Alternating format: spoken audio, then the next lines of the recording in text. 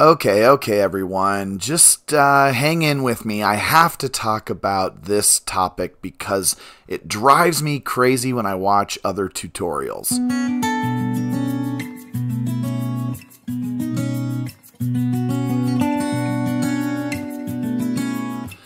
Hey, everybody. Welcome to Not From This World's Daz Studio tutorial series. I want to thank you for joining me. And today I kind of have a pet peeve because I've got to address ghost lights. And the reason why I decided to make this video is because there are so many videos out there about Daz Studio ghost lights. You'd think it'd be pretty easy to set them up, but oh my gosh, talk about skipping steps and not explaining very well. That's what I have discovered. So I'm going to try and talk about this topic as direct and straightforward as I can and make this as easy as possible. Okay, so as you can see, I have a scene set up. It's kind of a sci fi scene where Milika here is attacking a robot scorpion. Pretty cool. And she is rescuing her friend, Junifer, who is restrained and about to be attacked by this scorpion. Now, when I set this up, I really like it I have some spotlights. Actually, you can see I have quite a bit of spotlights, and I have various cameras set up so that I can use Render Queue to make a series of pictures of this scene. So I kind of have a um, picture inside this observation room where these people are looking out at the battle. I have some lower shots of Junifer and this is where the ghost lights are going to come in. So I really like these close-ups of Junifer trying to fight the scorpion as she's restrained. But if I do a iRay preview, you're going to see that all of my spotlights that set up the scene are not shining directly on Junifer the scorpion is blocking some of the light coming into her. So as you can see uh, in this iRay, her face is just a little too dark.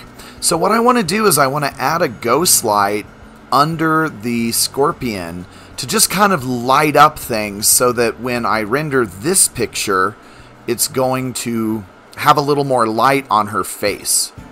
And so let's go back to the texture mode, and you'll hear my computer kick off here. If I do a simple uh, ghost light, I'm going to be able to fix this problem. In order to make a ghost light, it's actually very simple, and you know, honestly, I'm not trying to dog on any of the other tutorials. I just don't understand why they skip steps. So let's kind of take this step by step and make a ghost light so that we can get it into our scene and get a good render. Okay, so the first thing that we're going to do is we're going to select a primitive and we can select any of the primitives. Uh, most of the time we're going to select a plane for a ghost light or a sphere. I'm going to select a sphere in this case. Size doesn't matter. It's going to be huge anyway, and we're going to click on the sphere and we're just going to shrink it down to a manageable size. And then I'm going to kind of move it into a general area that I think is going to help my scene. So I'm going to put it right about here. Now, the advantage of a ghost light is we can illuminate this sphere and then make it invisible. So it can be right by our character, but you're not going to see the light once we have it as a ghost light. That's why it's called a ghost light. So we're going to have this invisible object illuminating the scene. So this approximately looks good. I can move it once I have the light set up to its proper place so that we can get it where we want it. Now the first step in creating this ghost light is going to um, involve our surface tab. So with the sphere selected, I'm going to go to my surface tab.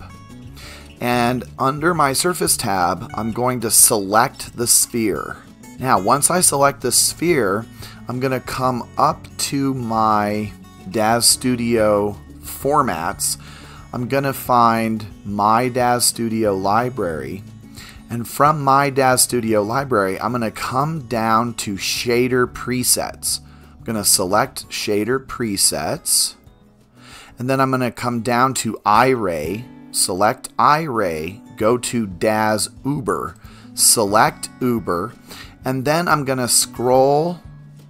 In this case, I'm scrolling up. You may have to scroll down, but I'm going to scroll until I find the emissive layer.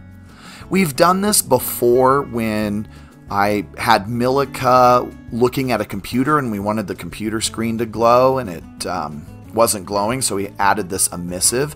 So with my Surface tab, the sphere selected under Surfaces, I'm going to double click on the emissive. Um, in a particular tutorial I was checking out, this was just dismissed and not told to anyone, and it made it very confusing, at least to me. So we need to have this selected in our surfaces. Now, once we have that in our surfaces, the next step is to stay in my DAZ Studio library but we're going to go up to scripts from our shader presets. Go to scripts, select scripts, go to utilities, click on the utilities, and then we're going to find this script called create advanced iRay node properties. And with our sphere selected, we're just going to double click on that. All right, now once this Create Advanced iRay Node Properties has been selected, we are going to go to the Parameters tab. And in the Parameters tab, under Display with the sphere, we're going to click on Enable iRay Matte. So I'm just going to click that on. I can come over to Emission, click on it, and I'm going to have this menu. Now, in the menu, there's a couple of things that we need to do. First of all, we have to change the luminance units to the KCD over M squared. Once we have that selected, then we can play with the luminance and I am going to drop my luminance from 5000 down to 500 because I don't want my ghost light really bright. I just want to illuminate Junifer's face because she's under that scorpion and the spotlights, of course, are getting blocked. I'm also going to take my emission temperature and I'm going to make it 5000. It is defaulted at 2900, but I want to make it 5000 because I just want some white light. If you keep it lower, just like your spotlights, you're going to get kind of a yellow light. You can also change your emission color. So if you want blues or purples or reds, you can change that emission color and your ghost light will change color for you. Now, once I have this set up, I'm going to stay in the surface menu and I'm going to go to base. And with base, I am going to scroll down until I hit these two dials called uh, refraction index and refraction weight. So the first thing I'm going to do is I'm going to take this refraction index and I'm going to drop it down as low as it can go to the left. So it'll be at 1. And then if I take this refraction weight, if I raise it up to the highest number, you can see that my sphere disappears. Now let me show you that I have this set up. Let's do an iRay render and you're going to see light shining onto Junifer's face, hopefully. So let's see if this worked before we make the refraction weight 1 and make our sphere invisible. Remember, a ghost light is invisible, so we're going to use this refraction weight to make this sphere transparent, and that is going to make it invisible in our scene. Let's see, though, before we make it invisible, if we get some light Oh, yes. So you can already see that Junifer's head is more illuminated. So what I'm going to do is I'm going to move my ghost light around before I change the refraction weight. Let's move it around and get it into a position that we like, and then we'll make it invisible and render up some pictures. To move it around, all I've got to do is go back to the Parameters tab with my sphere selected and see I can move this. So I'm going to raise it up just a hair. Let's raise it to about 35. I can split my screen and go into iRay mode in both screens just to see how each camera is illuminating Junifer's face. So you can see I really like this. I might just move the sphere back just a little bit. Let's see how that changes the lighting. Okay, so I I like that. I think that looks pretty good. Let's get out of the double screen and let's get out of iRay mode. Go back to texture. Looks like I have a few issues I need to address before I render this up. Okay, so I like where this is at and I'm going to click back on my sphere. So I've kind of checked out and edited my scene a little bit.